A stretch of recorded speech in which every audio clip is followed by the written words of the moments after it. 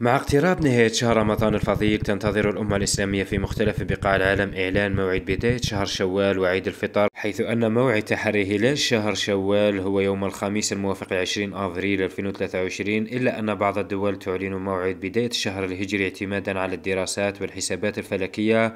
حيث ذكر مجلس الفلك الدولي أن أستراليا حددت السبت أول أيام عيد الفطر رسميا وفق ما توصلت إليه الحسابات الفلكية لديها.